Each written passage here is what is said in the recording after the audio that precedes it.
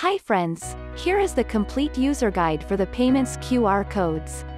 Before we start, subscribe to QR Code Chimp and press the bell icon for our best offers and promotions.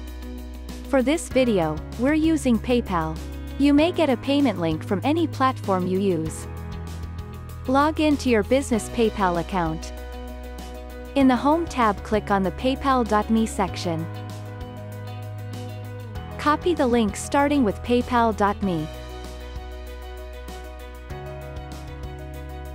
Go to qrcodechimp.com. Go to the Solutions tab. And click on the Payment Solution card. Let's create the Payments QR code now. Enter your copied URL in the Payments URL input box.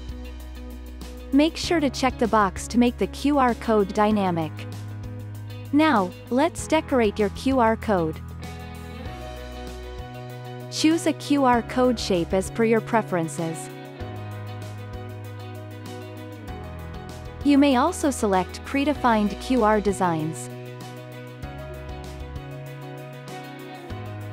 Now, let's apply the sticker with call to action to get more scans.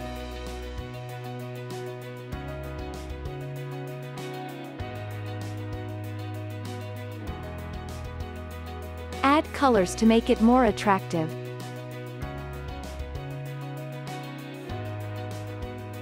You can change QR body shape.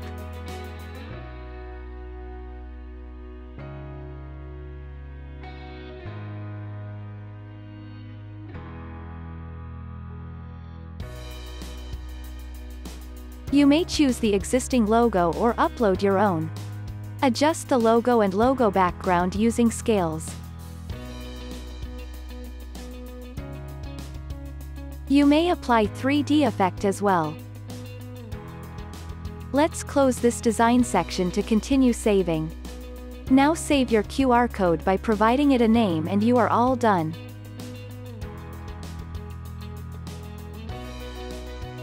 See the newly made QR code on your dashboard. Subscribe for more such helpful videos.